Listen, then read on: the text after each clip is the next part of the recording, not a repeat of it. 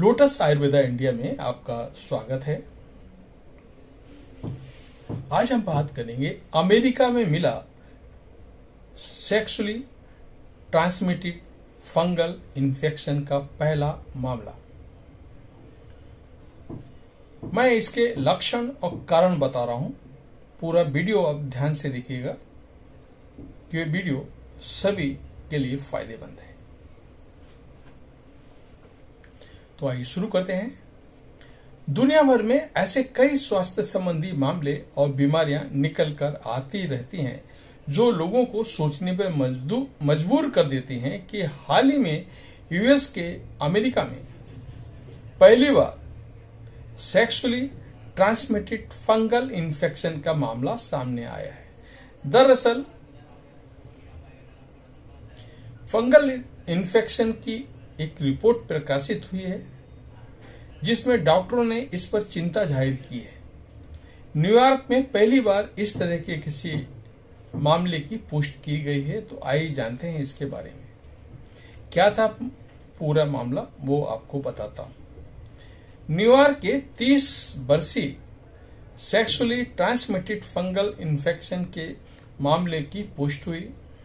Media report की माने तो संक्रमित शख्स कैलिफ़ोर्निया, इंग्लैंड और ग्रीस की यात्रा पर गया था।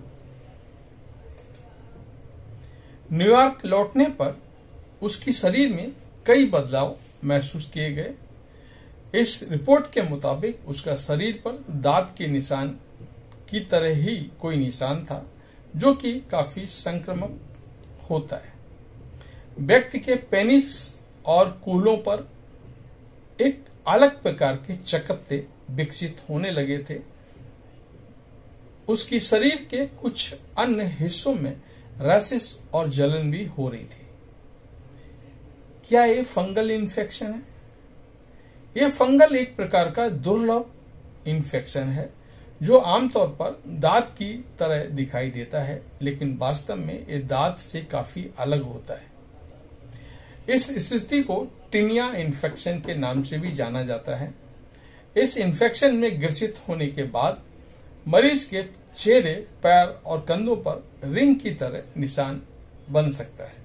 ये इन्फेक्शन खासतौर पर साफ़ सफ़ाई नहीं रखने वाले लोग, गर्म तापमान में रहने वाले या फिर ज़्यादा दवाएँ लेने के कारण भी हो सकता है।